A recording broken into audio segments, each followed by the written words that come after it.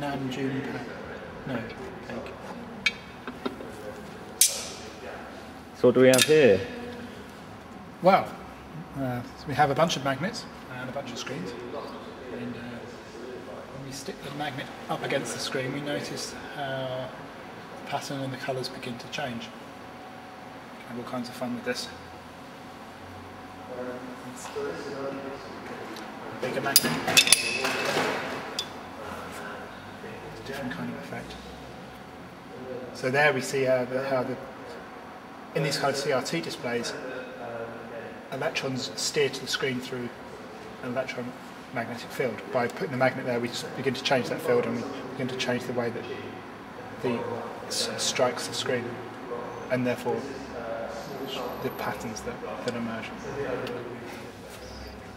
If the magnets are open, you can get quite a lot of distortion, especially on the edges.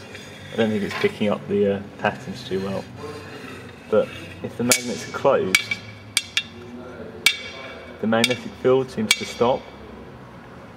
And then if we, uh, it's quite strong. If you open them up again, you can see all the distortion.